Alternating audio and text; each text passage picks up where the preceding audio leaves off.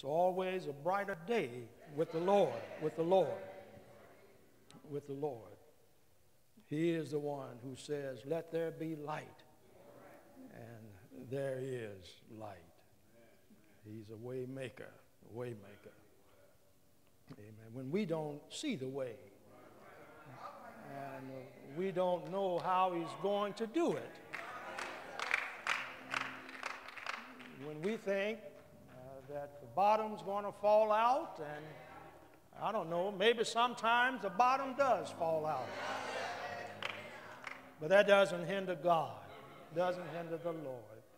Uh, when, when we find ourselves falling, there is uh, that uh, presence of the Lord, uh, holy hands and powerful hands to catch us to hold us, to embrace us, they will get better. Things will get better. Amen. Amen. Thank the Lord. Don't ever give up just because of the way things may seem. The way things may seem. Remember when Jesus was on the cross uh, he asked the Father, Why have you forsaken me? But yet again, he turned around and said, Into your hands I commit my spirit. It wasn't that God had forsaken him, it was just that he felt that way. He felt that God had forsaken. Sometimes we feel that way. But the reality of it is that the Lord is there. He's always there. And uh, things will get better. Church, they do get better uh, because of the Lord, because of the Lord, because of the Lord. Thank the Lord, thank the Lord. Amen, amen. Turn with us to the Gospel of Luke, chapter 24.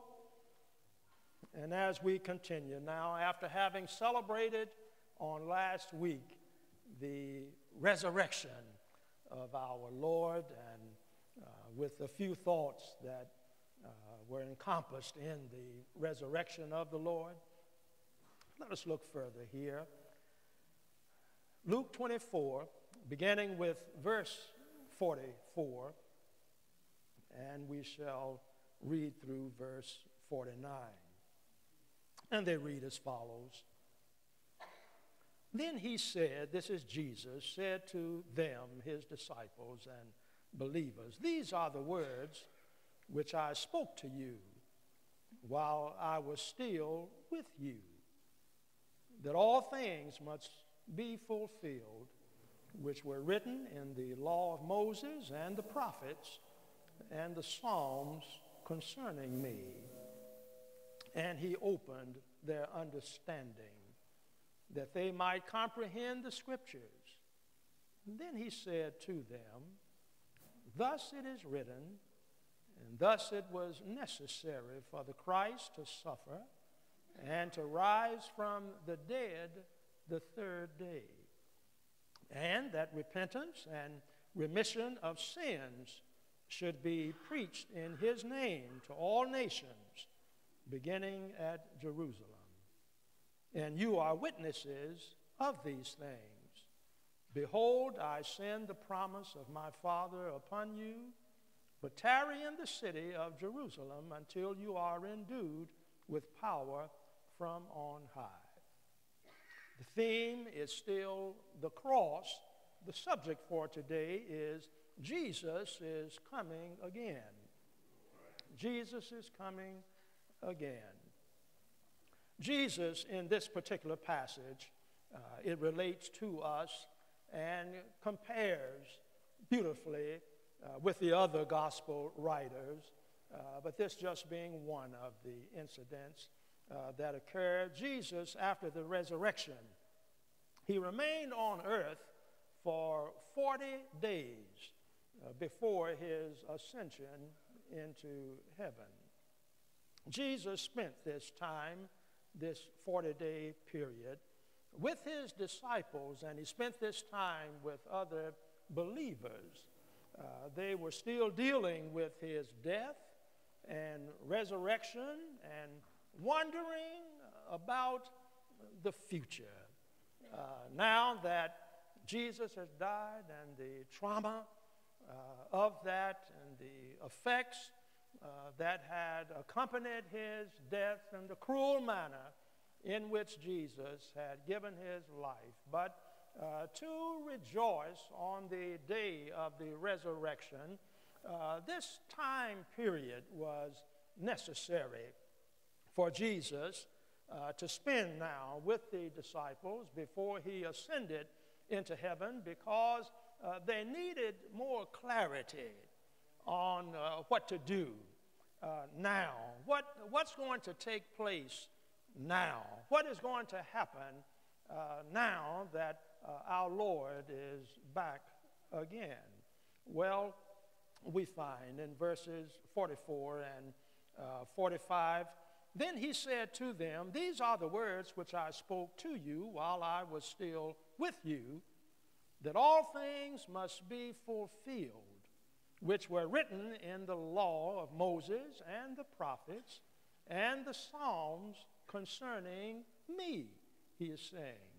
And verse 45 says, And he opened their understanding that they might comprehend the scriptures. Jesus now, uh, during this time period, used it in which he reminded the disciples and the other believers uh, of words that he had already taught them. He reminded them of it. Uh, words that were written in the Old Testament. That was the only Bible that they had then, of course, was the Old Testament. And he reminded them of uh, what the Old Testament teachings were concerning himself, concerning him. He says in verse 44 that all things must be fulfilled, must be fulfilled. Things that related to the cross and the most recent events that had occurred uh, that we've touched on and, and will a little bit more. The recent events of the crucifixion and, of course, uh, uh, his, his coming back to life. But he also related to them future events, things that were going to come, things that would happen uh, from that point. Jesus taught now the Old Testament scriptures opening their understanding, verse 45 says, regarding the cross and the crucifixion and uh, the cross and his resurrection. He opened their understanding. I don't know how many passages we don't have of which Jesus related to the disciples and others regarding now of what he is saying here. Going back to the Old Testament uh, book of Moses, the word says that uh, he, he told them things that uh, were to be fulfilled that were written in the law of Moses. The first five books of the Old Testament uh, were written by Moses. In those books, there were things that were said regarding Jesus and the cross, uh, the crucifixion, and the resurrection. We can just look in the book of Genesis itself. We can regard uh, in the passage of which uh, Moses wrote uh, concerning Jesus, Jesus' name was not mentioned, but he was referred to there in the opening passages of the book of Genesis, after Adam and Eve had fallen and had to be addressed and confronted uh, by God. And when God confronted them, along with the serpent, and of course that was Satan, uh, he said that he would put enmity, division, separation between the seed of the serpent and the seed of the woman the seed of the woman, God was referring to the coming deliverer. Though that would be a few thousand years later, uh, God uh, had already given that promise and that prophecy.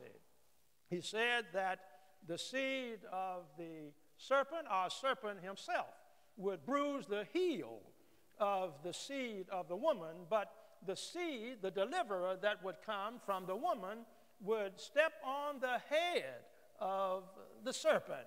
Uh, that is the opening gospel that we have in the book of Genesis. It may be that uh, the Lord taught them even that particular passage. It said that He spoke to them words that were written in the Psalms and in the prophets concerning Himself, uh, of uh, His death, the crucifixion, and uh, the resurrection. We find in Psalm 16, we find in other passages of uh, the Psalms in which uh, the word is spoken that a body God has prepared for me.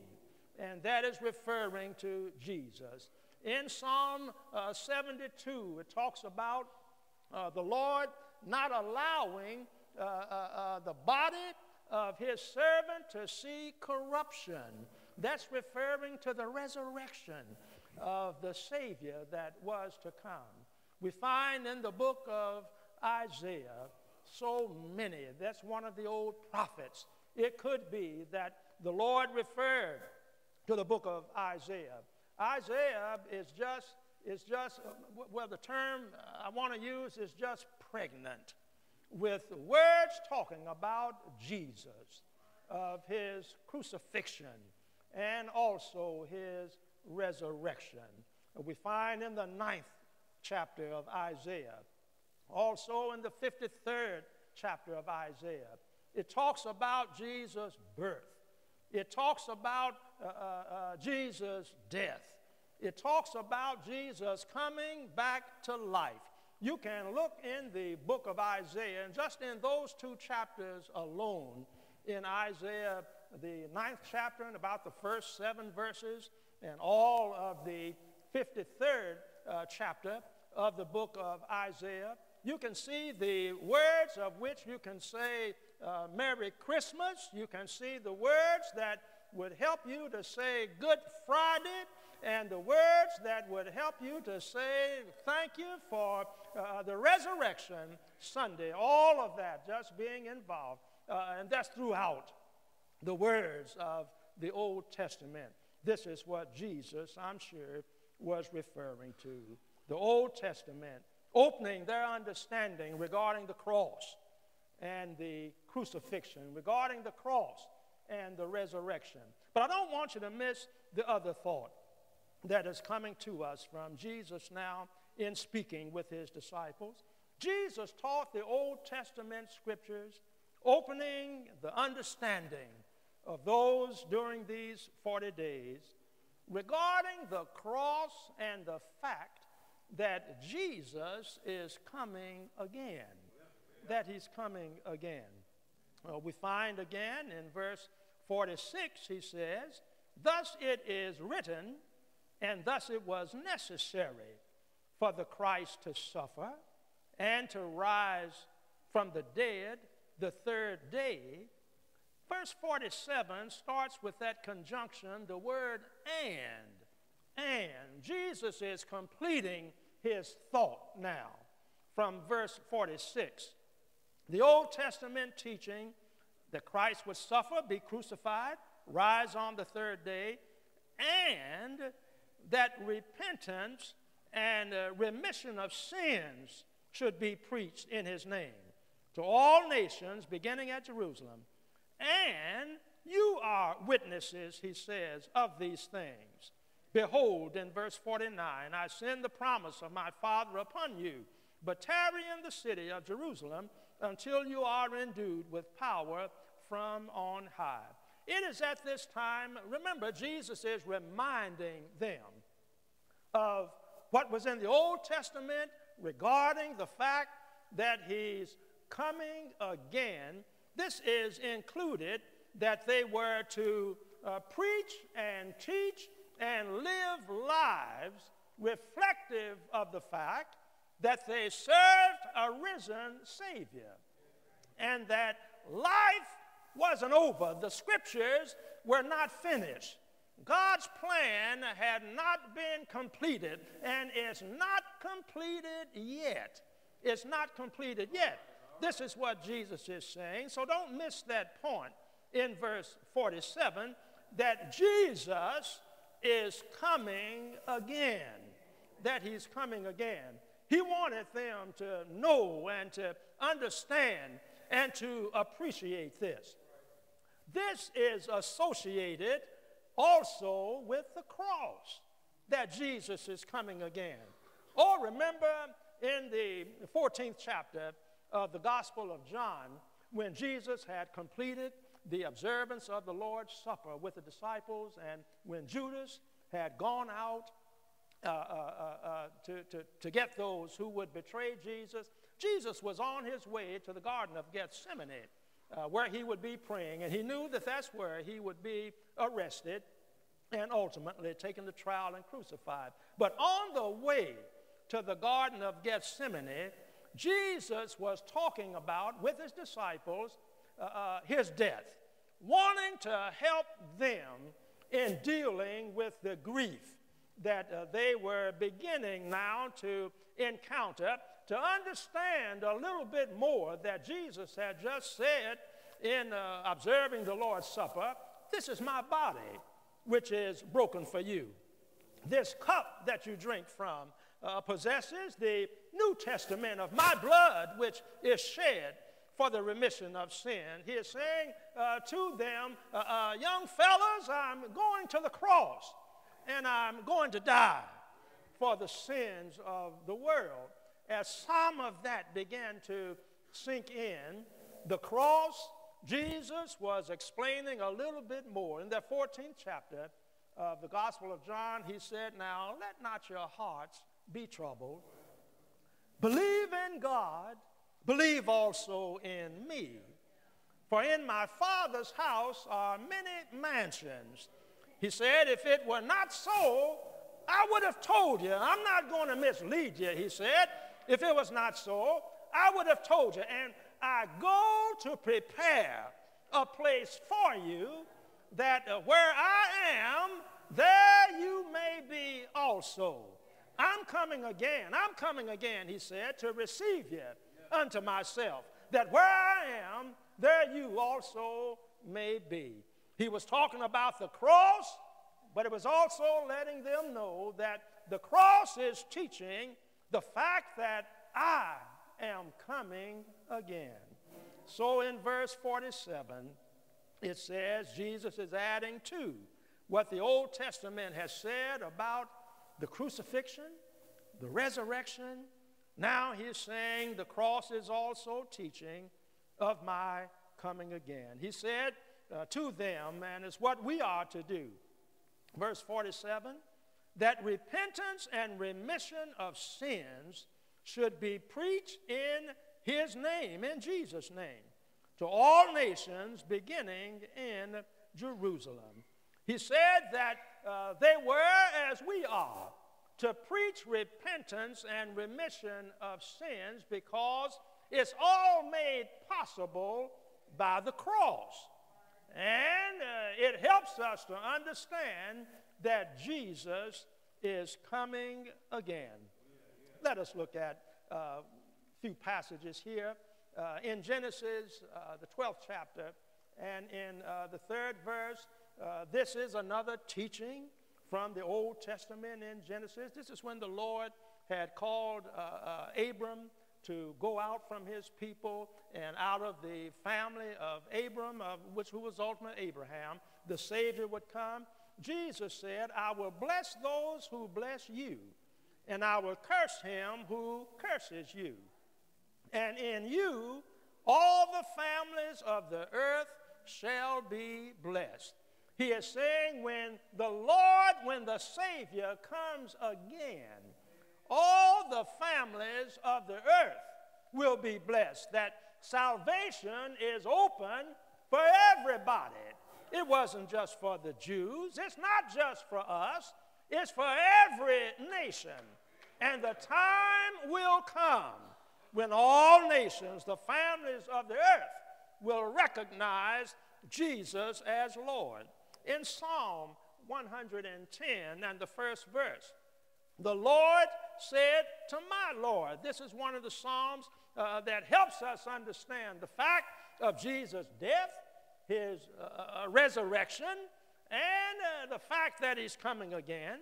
The Lord said to my Lord, Sit at my right hand till I make your enemies your footstool. There's coming the day when the enemies of God will be the footstool of our Lord. That's when Jesus will be coming again. In Isaiah chapter 45, verses 22 through 25, he says, Look to me and be saved, all you ends of the earth, for I am God and there is no other. I have sworn by myself, the word has gone out of my mouth in righteousness and shall not return, that to me every knee should bow, every tongue shall take an oath. Now, that's in Isaiah in the Old Testament, but as Jesus was opening the understanding of the disciples, ultimately they picked up on what he was saying that he's coming again. Just that verse uh, uh, here in verse 23 that to me every knee shall bow, every tongue shall take an oath. You're going to find the Apostle Paul in the New Testament, in the second chapter of Philippians and the 10th verse. He's quoting what Isaiah said in the Old Testament about Jesus coming again, where he said that every knee shall bow and every tongue shall confess that Jesus is Lord to the glory of God. Verse 24 He shall say, Surely in the Lord I have righteousness and strength. To him men shall come, and all shall be ashamed who are incensed against him. In the Lord all the descendants of Israel shall be justified and shall glory. The descendants of Israel, that doesn't mean now just Jewish people who believe in the Lord. He's talking about all believers. That's who the real Israel is. All believers, the new church that we are to be a part of. So Jesus was sharing in the writings, just these just a few verses in the Old Testament that refer to the fact that he's coming again. So Jesus said, we are to preach repentance, still preach repentance and remission of sin. Some folk don't even want to preach uh, uh, uh, uh, repentance anymore. They just want to preach remission of sins. That when Jesus died, sins were washed away. But, church, that doesn't mean we become perfect when we accept Jesus. We still got to bow before Him. We still have to grow. We still have to learn. We still have to repent of sin for other things to be washed away. Or we do that until Jesus comes. He also says now that in verses 48 through 49, and you are witnesses of these things. Behold, I send the promise of my Father upon you, but tarry in the city of Jerusalem until you are endued with power from on high. What Jesus is saying here, not only are we to preach repentance and the remission of sins till he comes, we are to live holy lives. And we are to live empowered lives. That being witnesses, that's what causes us to be witnesses now until Jesus comes. All of this is made possible by the cross because Jesus is coming again. Let us look at uh, some verses now in the New Testament. Since we are to preach repentance and remission of sins, since we are to live holy and empowered lives, uh, by the coming of the Holy Spirit, Jesus is talking about, we are to receive the Holy Spirit. In 1 Corinthians chapter 1, verse 18, for the message of the cross, that's what we'll be preaching to others. The message of the cross is foolishness to those who are perishing. But to us who are being saved, it is the power of God. Oh, that's why we have to preach it, teach it, live it, share it, because it's of the cross. That's what we stand for. It's foolishness. You're going to get beat up sometimes when you preach the cross. You're going to get talked about when you mention the cross. When you talk about Jesus coming again, somebody's not going to like it. To those who are perishing, is foolishness. But to us who are being saved, it's the power of God. Now, look at that being saved. That, that is to help remind us that there's still some work that God is doing with us. God is still smoothing out the rough places. He's still cleansing some unclean spots. Oh, we're being saved still. It is God's power that is doing it. That's what we are to stand for because He's coming again. In Acts chapter 1, verses 9 through 11, further of Luke's writing. Luke wrote the book of Acts, and that's after the Gospel of John, talking about Jesus coming again. Now, when he, Jesus, had spoken these things to his disciples, while they watched, he was taken up, and a cloud received him out of their sight. And while they looked steadfastly toward heaven, as he went up, behold, two men stood by them in white apparel, who also said, Men of Galilee, why do you stand gazing up into heaven? This same Jesus who was taken up from you into heaven will so come in like manner as you saw him go into heaven book of Hebrews tells us, and as it is appointed for men to die once, but after this, the judgment, so Christ was offered once to bear the sins of many. To those who eagerly wait for him, he will appear a second time apart from sin. He's not coming to die for sin anymore, but for salvation. As the disciples saw Jesus go up, they received the word that he's coming back again. Oh, I can imagine that was a beautiful sight, an awesome vision. It was something that, that uh, struck their hearts and their minds. They were amazed as Jesus went up.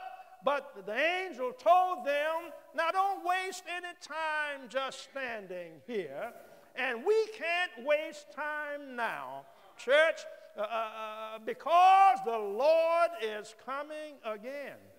The angels told them, don't just stand here gazing up into heaven. Uh, he's gone now. Uh, uh, his spirit is coming to be with you, but don't waste your time just looking at the clouds. He is coming back. He's coming back. You get out and you do the work that He has told you to do. That is to preach repentance and the remission of sins. Preach the fact that Jesus is coming again. Live for Him, knowing that He's coming again. Church, we learn from these passages and so many others, again, what uh, the resurrection teaches us that He's coming again. And so we have to remember that because Jesus rose, that we're going to rise. And that helps remind us that he's coming again. We'll be raised from the dead ourselves one day, and we'll be judged on how we've lived. We'll be judged on how we have used the gifts that the Lord has given unto us. Paul says in Romans 14 and 12, each of us shall give account of himself before the Lord unto God. Jesus says in the fifth chapter of the Gospel of John, verses 26 through 29, that uh, everybody is going to rise from the grave. Uh, but some will rise to the resurrection of life, eternal life. Some will rise to the resurrection of condemnation. That means that some will receive uh, the judgment of going to heaven, and others will receive the unfortunate judgment of going to hell. It all depends on how we live, how we use the gifts God has given us during our time of life, waiting, living for Jesus' return.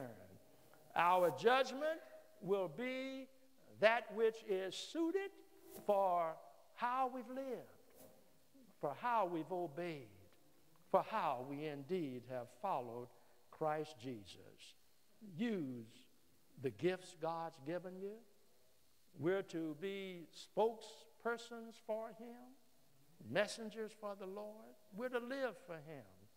Let our gifts, God's given everybody gifts, given everybody talents.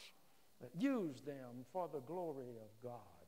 When He comes again, that's what we must answer to. How we've lived, how we've used the gifts for good or for evil. So let us proclaim the word. Let us live knowing that He's coming again and be ready for him to come. This is our time. This is our opportunity. Don't waste it. Don't throw it away. Don't, don't discard it. Don't forget about it. Live for the Lord. For church, he is coming again. Folks didn't believe it when he came the first time.